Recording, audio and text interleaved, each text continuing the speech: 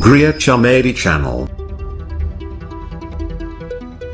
Sahabat Gria Komedi, bagaimana cara cetak BKU per bulan di aplikasi Arkas? Nah, ini aplikasi baru yang tahun ini digunakan untuk bos Kemdikbud. Nah, langkahnya gimana? Kita langsung saja seperti ini.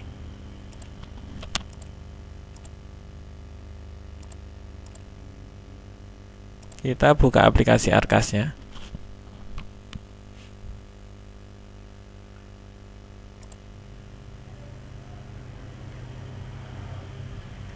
Jika sudah, seperti biasa Anda login.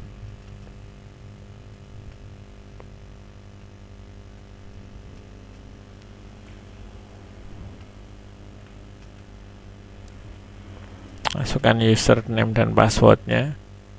Kemudian login. Nah, setelah login, kalau kita ingin mencetak BKU, syaratnya Anda sudah harus melakukan penganggaran dan sudah selesai. Saya contohkan di sini di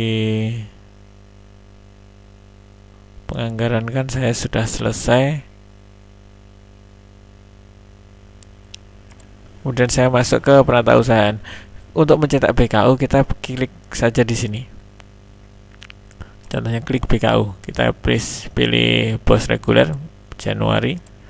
Kita oke. Okay. nah kita tunggu seperti ini maka nanti akan muncul tampilan BKU nah inilah BKU Januari karena memang di Januari sekolah saya belum ada uang masuk nih BKU-nya masih kosong.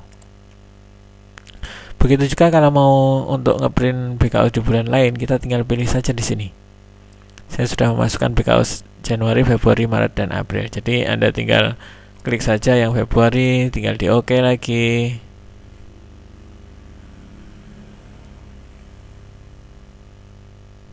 Nah ini Februari ya. Jadi di aplikasi Arkas ini ternyata BKU-nya sudah selesai. Untuk buku-buku yang lain, misalnya buku kas membantu, buku bank juga sama. Kita lihat juga caranya seperti ini. Januari. Kita tunggu ini ada prosesnya saldo kas. Nah, di bulan Desember 2019 masih kosong. Ini untuk di Januari 2020 bawahnya ini sudah Januari masih kosong dan seterusnya.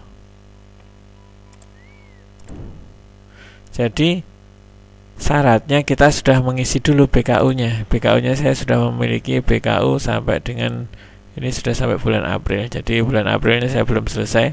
Tapi di aktivasi BKU ini saya sudah tutup buku di BKU di bulan Januari, Februari dan Maret. Ini sudah saya tutup bukunya. Jadi sekarang masih prosesnya di bulan April. Oke, mungkin cukup itu cara print BKU di aplikasi Arkas. Semoga bermanfaat. Jika ada pertanyaan dan lain sebagainya, silahkan kita sama-sama belajar. Silahkan tanyakan di kolom komentar. Terima kasih. Semoga bermanfaat.